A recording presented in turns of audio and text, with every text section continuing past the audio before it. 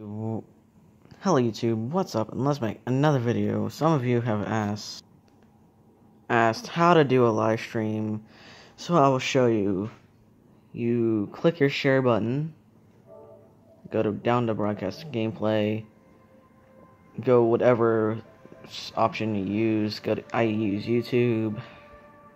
Obviously cuz this is going to YouTube and I was just live streaming on Watch Dogs, name it whatever you want.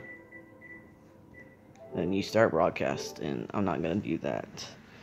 Or you go hold your home button in and go to broadcast gameplay, and it brings you to the same page. And there you go.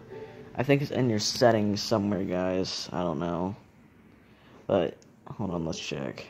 It's not apparently in your settings, so yeah, guys. Bye, YouTube. Have a great time. And subscribe.